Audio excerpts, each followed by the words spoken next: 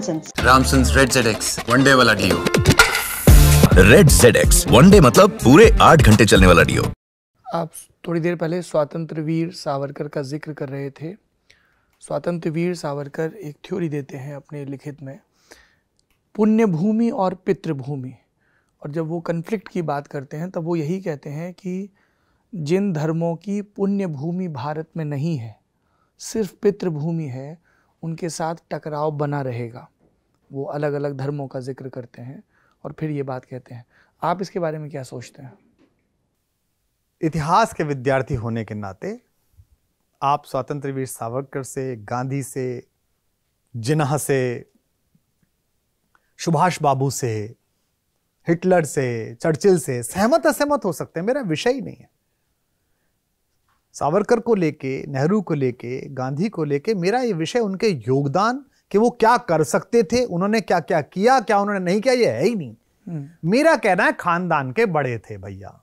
आज जो हम हैं वो पीछे खड़े थे भैया। वो कुछ कर रहे थे। मैं नहीं था चालीस में। मुझे नहीं पता कि किन परिस्थितियों में उन्होंने पत्र लिखा या नहीं लिखा वो सो कॉल्ड खत। मुझे पता नहीं कि नेहरू जो है वो लंदन में पढ़े होने की वजह से माउंट बेटन के निकट थे या किसी और कारण से निकट थे, और मैं पढ़ना भी नहीं चाहता।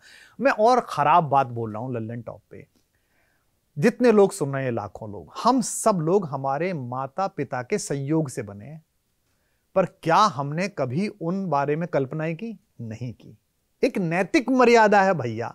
एक नैतिक मर्यादा है कि सैतालीस में ऐसे हुए हो। थे अब यहाँ आए हो।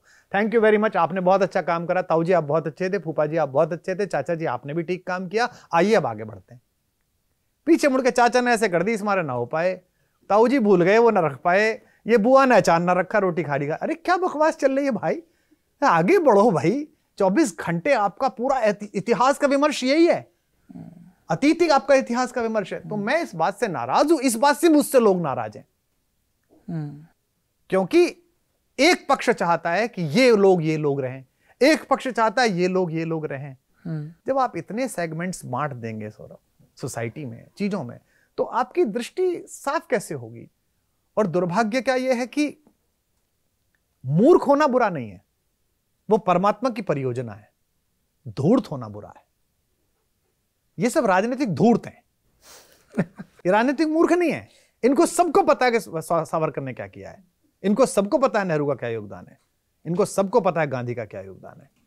लेकिन ये जान पूछ के चूँकि इनकी कॉन्स्टिट्यूएंसीज एड्रेस होती हैं बेटे ने ये पता नहीं है कि जिस यूरिया के पानी को दूध बना के तुम बेचना चाहते हो उससे एक नवजात शिशु का लीवर कट रहा है।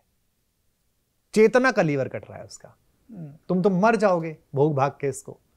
वो जीवन भर किडनी लेके घूमता रहेगा लीवर लेके घूमता रहेगा ट्रांसप्लांट के लिए। मुझे इसका गुस्सा आता है। ये गुस्सा प्रकट हो जाता है तो लोग नाराज़ हो जाते हैं और उस नाराज़गी के नुकसान में झेलता रहता हूँ। अक्सर झेलता रहता हूँ व्यावसायिक रूप से झेलता रहता हूँ। व्यावसायिक रूप से? हाँ व्यावसायिक रूप से झेलता हूँ मैं मैं मुझे आ, कभी ऐसा हुआ कि मंत्रियों मुख्यमंत्रियों ने नाराज़ होकर आपके शो कैंसिल करवा दिए बहुत सारे। इसी समय हैं अभी हैं मैं जानता हूँ उनको। ऐसे कई मुख्यमंत्री हैं जिनके स्टैंडिंग इंस्ट्रक्शंस हैं कि वो नहीं आना चाहिए। ऐसे कई, मैं तो जाता ही नहीं हूँ क्या सरकार के प्रोग्राम में तो जाता ही नहीं हूँ रेयर ही कभी जा पाता हूँ। जब बहुत ही ज़्यादा आवश्यक हो, किसी का कहना सुनना हो, वो खुद व्यक्ति कह रहा हो जो सरकार में है कि साहब हमारे लिए कर दीजिए। क्योंकि पता है कि ढोल है, डमरू है, बजेगा तो भीड़ आएगी मेलने तो कौन आएगा?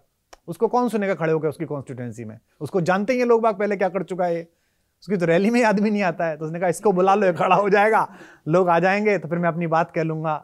आदरणीय भाई साहब आए हैं भाई साहब पर तो सरस्वती की बड़ी कृपा है। दोनों बातें मुझे पता है। नहीं पता तो उसको नहीं बतानी है, बाकी तो भाई साहब हमने अच्छा किया है, वो अपनी बात उसे बोलनी है तो मुझे बुला लेता है। तो ऐसे बहुत सारे लोग हैं। और उनका नाराज़गी मुझसे नहीं है, उनकी नाराज़गी दरअसल महँगा मामला है सच सुनना। बहुत मुश्किल है, कहना आसान है। सच सुनना सच सुनना, सच कहना, सच सुनना। बहुत महँगा है, कहना भी बहुत महँगा है, सुनना भी महँगा। वक्ता, श्रोता च दुर्लभा जो मारीच कहता है रावण से अप्रिय से हे राजन सुलभा पुरुषा राजनम सततम प्रियवादिन। हे राजन तुझे ऐसे लोग मिल जाएँगे जो लगातार तेरे से प्रिय बोले। मैं तो देखता था ना मैंने देखा है ये। बीस लोग बैठे हैं और एक आदमी घुसा। सर सर अच्छा, सर वो ट्वीट बहुत अच्छा करा आपने। वो बोला मुख्यमंत्री बोला कौन सा ट्वीट? मुझे सर आज करा। नहीं वो तो कुमार ने किया था उसको मैंने रिट्वीट किया था। हाँ सर वही वही। अबे तो मेरी तारीफ़ बहुत अच्छा रिट्वीट किया। क्या? क्या चिंटूगिरी है? सिर्फ़ इसलिए कि सीएम की निगाह में बने रहे कि दिल्ली कमिश्नर कमीशन मिल जाए फला मिल जाए कैसे लोग किसके लिए? किस दो रोटी में समस्या है? यार क्या मेरे मेरे जैसा आदमी क्यों करेगा? ये जो करते हैं मैं इनकी कई बार सोचता हूँ क्यों करते हैं? मैं पत्रकारों से अक्सर कहता हूँ कि एक कस्बे में जो बारह हज़ार का है वहाँ एक प्रादेशिक अखबार का संवाददाता, जिससे कॉलम में इंच में मिलके पैसे मिलते हैं। वो अगर दरोगा के साथ बैठ के थोड़ी मांडवाली करता है तो मैं उसका अपराध क्षमा कर दूँगा, क्योंकि उसको माँ का चश्मा बनवाना है, बहन की शादी करनी है, बच्चों को पढ़ाना है, उसको पैसे अखबार इतना नहीं देता। पर जो चैनलों में बड़े बड़े चेहरे लेके तीन तीन चार चार करोड़ रुपए साल की डील लेते हैं, वो जब चाटते हैं तो मेरे को मन कहता कहाँ जाके ले जाएगा? ऐसे कहाँ मरेगा जाके भाई? अब तो तुझे तेरे श्रोताओं ने, दर्शकों ने यहाँ पहुँचा दिया। कि तू जीवित रहेगा मरेगा नहीं।